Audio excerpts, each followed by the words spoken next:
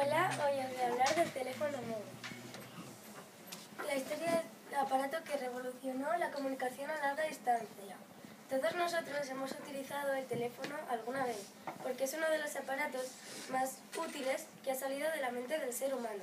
Se trata de un instrumento que gracias a un micrófono, un altavoz y la electricidad, permite la transmisión de voz y de otros sonidos.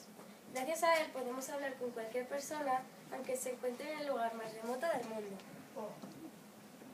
¿Quién inventó el teléfono? La historia del teléfono es realmente curiosa. Siempre se ha creído que el escocés Alexander Graham Bell, quien trabajó durante años en, este, en el diseño de este aparato y lo patentó en 1876, pero en realidad el científico italiano Antonio Meucci lo había inventado unos años antes, bautizando su nombre con el nombre de teletrófono. Meucci. Ahora os voy a contar la vida de Meucci. Meucci era un hombre sin recursos económicos, que sabía que tenía entre manos un invento revolucionario. Durante años buscó ayuda económica para comercializar su, su, eh, este aparato, pero nadie la apoyó.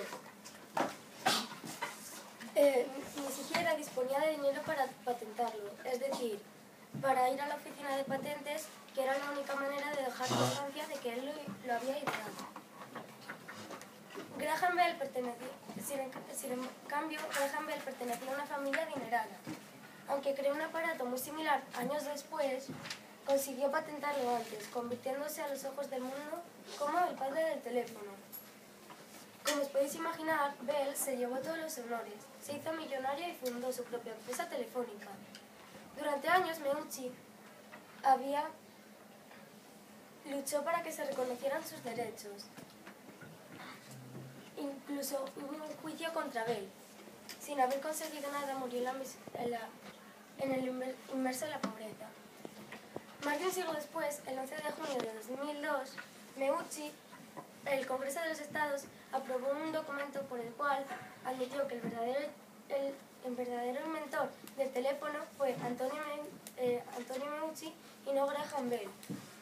De esta forma se ha hecho justicia y se ha reconocido el, el mérito de este científico que pasó su vida investigando pero murió en la más absoluta miseria.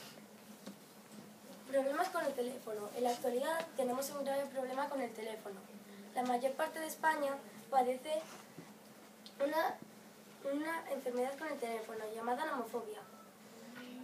El teléfono es para muchos enfermedades del siglo XXI y gran parte de la población padece sin ser conscientes de ello. Y aquí os he traído unas fotos de Graham Bell y de Antonio Meucci. Como podéis ver aquí, está trabajando en el diseño del teléfono.